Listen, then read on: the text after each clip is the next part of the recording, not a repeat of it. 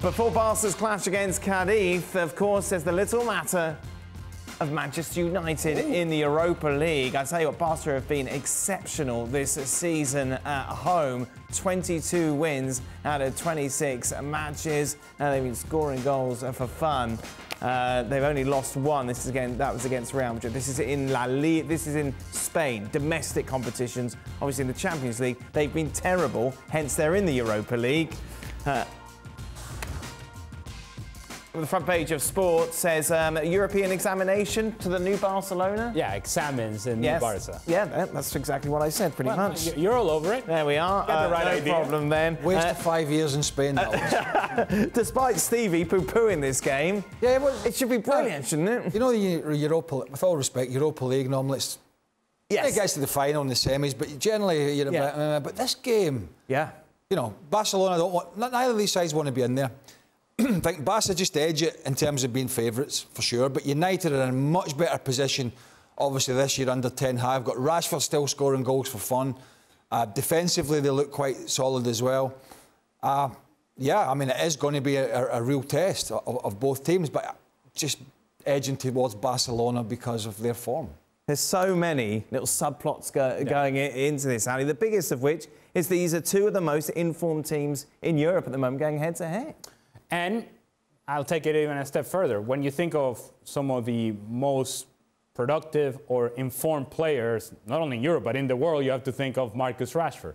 When you think of perhaps over the last month or so, the best defensive team in Europe, you don't think Barcelona, but you look at the numbers yeah. and you better start thinking Barcelona. Barcelona, and, and this is a stat that we've thrown around quite often, has only allowed seven goals so far in La Liga. Seven goals in 21 matches. Defensively, this is a different type of team. Usually, we think of Barcelona as, as, as a team that has the outside backs getting high up the field. And you'll have that down the left hand side with Alejandro Balde. You have that with Jordi Alba as well, whoever plays. But you don't have it down the right. Jules Koundé plays on that side. He doesn't get forward, and he matches the speed of Marcus Rashford. If he gets beyond Jules Koundé, he's going to go with speed against Ronald Araujo, who has been, in my opinion, the best defender in La Liga. And he is athletic enough to stay with the speed of Marcus Rashford. So you think of Manchester United and what they want to do is get out in transition, perhaps absorb some pressure, get out in transition. Well, this is a different version of Barcelona that actually has addressed those issues of, of, transition. That's where I see Barcelona being a favorite because they can do enough in the attack, but they have defended so well that has been impressive. I'm not sure if Weghorst is. I think he's eligible. I'm not sure if he can play or not. I think he can. Has been playing recently. No, but my point is uh, he shouldn't. I don't think so because for that for those reasons, you know, Barcelona. Barcelona will obviously try and dominate. Hmm.